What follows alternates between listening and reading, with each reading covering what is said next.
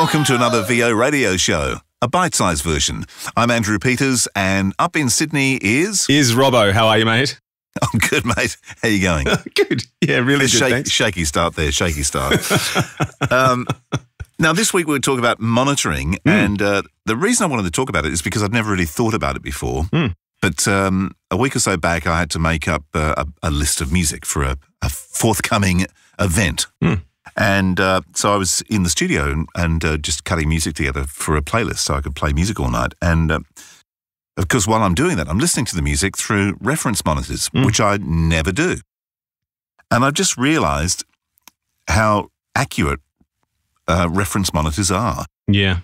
Yeah. You hear a song you've heard a gazillion times through hi fi speakers, and then you run them through a reference monitors, and you're just like, what? I, I haven't heard that before. Yeah. What the, what's going on there? That's the trick, isn't it? Absolutely.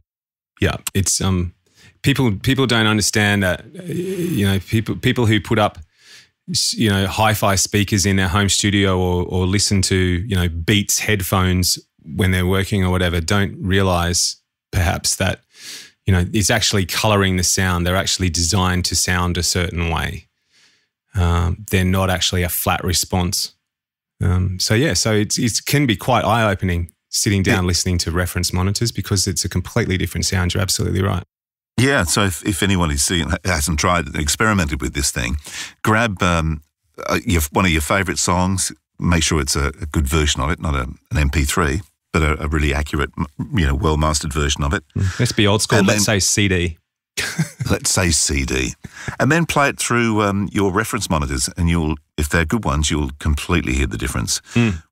Which is uh, so. What what is the main difference between studio monitors and hi-fi speakers? Well, I pretty much think, as we as we just said, that the hi-fi speakers are actually designed to sound a certain way. You know, they're designed to be bass heavy. You know, with a bit more high end to sort of give the vocal some more presence or whatever. I mean, it's a bit like flicking through the EQ presets on iTunes or something like that. The the, the speakers are actually designed to have a similar response, um, and especially headphones. I mean, certainly you listen to you know any of the big high priced commercial brands of headphones and what you're actually listening to is more of a colored sound than what's actually coming off the original source material um, but you know that's what people want i suppose and that's why people have a preference in terms of you know be it sony or you know um, uh, any of those other commercial brands when it comes to home stereo as opposed Yeah. to to um, to others so because they Now, just like the sound Yeah, you've been monitoring in headphones with this TV show. Oh yeah, I'm having a bit of a nightmare with that. I um, I think we talked about this a couple of weeks ago. I I, I got invited to to mix a TV program, but I had to go to them uh, to do it, and they're just in a big open sort of office area, and I've just been shoved in the corner with my laptop and was mixing in headphones, um, and not having a pair of decent headphones to mix in. Um, I actually went out and bought myself a, a pair of KRK uh, KNS 6400s, I think they are from memory, and I can't tell you what they are because I'm wearing them. But um, but uh, I, I whilst it is that whilst they are a flat response, I have struggled with the mix only because it's closer to your head. It gets in your head. It's a different way of listening um, as opposed Yeah. to listening to speakers. Um, it's also very fatiguing. Um, by the end of the day, my ears are exhausted, for want of a better term. Um, and I've actually had to spend the last, I think the program's been going to air for about six weeks now. It's probably taken me about six weeks to get it sounding right on air, um, purely for that reason, just because in a completely different listening environment, I actually have struggled. Um, it hasn't sounded awful, and and I, and and you know, to the average ear listening to the TV show, they probably wouldn't even notice. But in terms of, I, I think more I've noticed in terms of music level under dialogue, um, and sound effect and all that sort of stuff that sits under dialogue.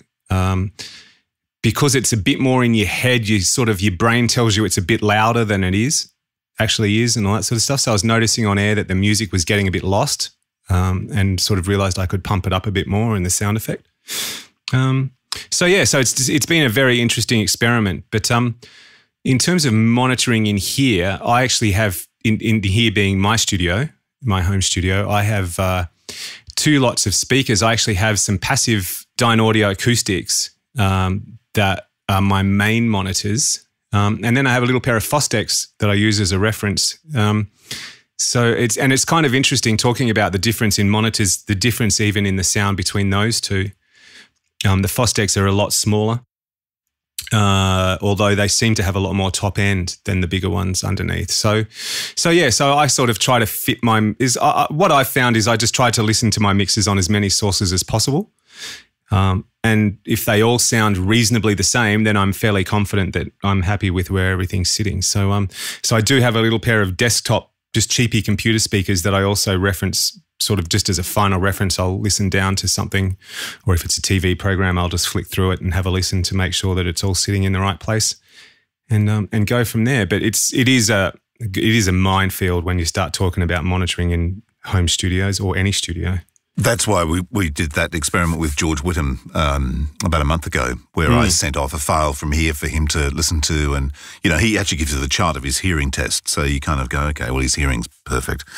Um, so that, that, that was good for me because it gave me an idea that okay, what he was hearing, he he said was fine. Mm. So now I know when I'm listening through my monitors in the studio that what I'm hearing, which I've always heard, is fine. If I start that's hearing something that's not the same, then I know there's going to be an issue somewhere. Yeah.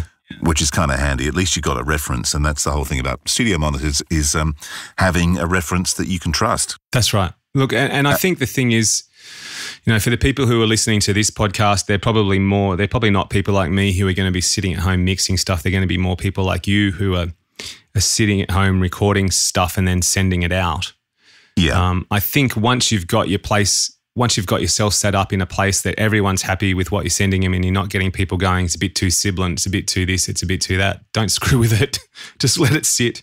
Oh, and, um, absolutely. Um, and put it out. But um, well, you know, people like you who you know can't walk into a music store without buying six new microphones, so it's a little different.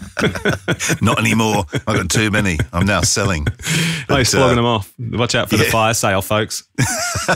there's no fire and there's no sale. no, it's interesting though. And, I, and, the monitors I picked up, they, they were ones that we used. I saw in a lot of studios at some, oh, probably 10 years ago, but I don't see them so much anymore. Yeah. Mainly Genelecs you see and. Um, yeah, Genelec's a big one. Yeah, that, that main the main monitors I see.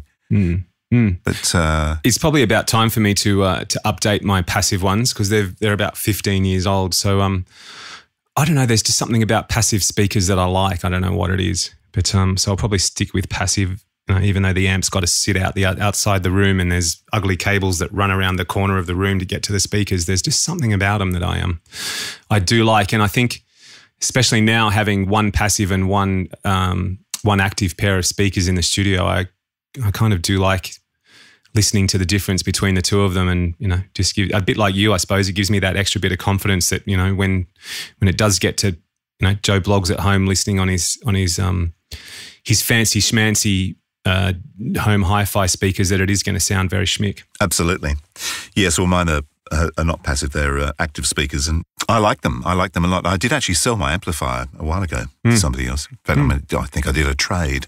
Yeah, right. But um, yeah, but I do. The, these Yamahas are fantastic, and they're mm. not the NS10s because they're passive anyway. That's but they right. did do an active. They did do an active version of. Yeah, never very popular NS10s. though.